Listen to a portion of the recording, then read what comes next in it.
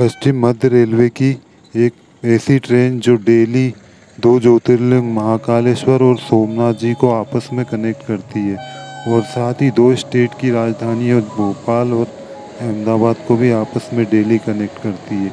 ये ट्रेन हफ़्ते में पाँच दिन वाया इटारसी और दो दिन वाया बीना होकर चलती है। जबलपुर से सोमनाथ के बीच ये अपनी सातों दिन सर्विस देती है।